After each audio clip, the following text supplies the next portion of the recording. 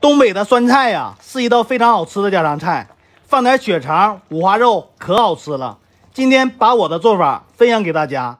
首先，我们准备两块这种棒骨的大骨头，再准备一块五花肉。现在都吃这种乳酸菌发酵的酸菜，不用切，没有添加剂和防腐剂，味道还好。用清水洗一下酸味儿，吃不了太酸的就洗两遍，攥干水分备用。然后把大骨头和五花肉凉水下锅。烧开以后，撇去浮沫，加大块葱姜、八角，再来点料酒去腥，然后找个锅，把油烧热，把酸菜下锅炒一下。你都看到这儿了，能给老弟来个双击吗？谢谢大家。炒过的酸菜吃起来更滑，炒出香味儿，把酸菜倒入烀肉的锅里，扣盖炖四十分钟。